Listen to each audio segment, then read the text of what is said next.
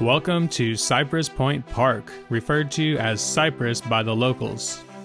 Cypress is located on the west side of Tampa, right by the airport. This park has plenty of parking and provides convenient access for kiteboarding and some amazing areas to ride. There are two awesome areas of flats with shallow, smooth water located on the north and south sides of the park. The south side is the closest to the parking lot and has a beautiful large riding area. On low tide, as shown in this video, there is a decent amount of space over here for rigging and launching, but there are some obstacles around the beach, so use caution if launching over here. The north side of the park is still an easy walk, but it is a little farther than the south side. Over here, there is much more space and less obstacles for rigging and launching.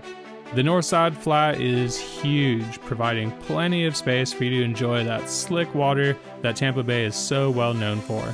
Cypress will be a great place to ride, with wind directions from the south around to the northwest.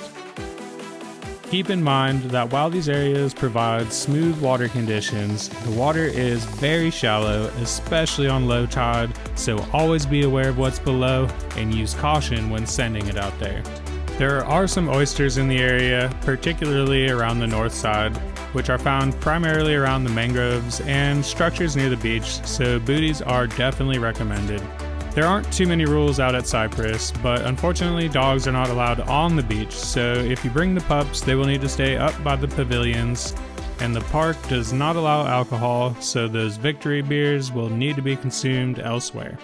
Overall, Cypress Point Park offers easy access to some terrific flats with the luxuries of bathrooms, picnic tables, and charcoal grills. Kiteboarding at Cypress is an excellent way to spend your day. Enjoy the ride, and we'll see you on the water.